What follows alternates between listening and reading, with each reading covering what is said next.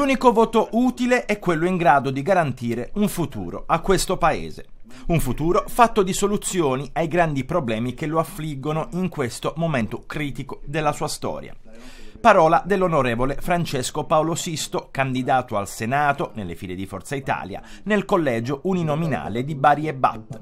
Il sottosegretario alla giustizia ieri sera è stato ad Andria per una nuova tappa del suo tour elettorale in vista delle elezioni politiche di domenica 25 settembre.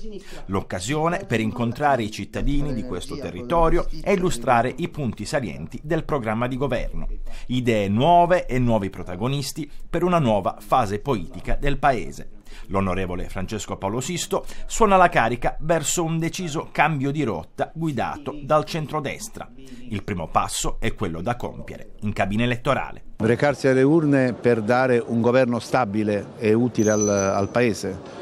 È evidente che eh, se per avventura non ci fosse questa consapevolezza da parte dell'elettore si correrebbe il rischio di un Paese esposto alla incertezza di, di, governo. La coalizione di centrodestra è pronta a governare, ha tutti i numeri per poterlo fare, le competenze soprattutto.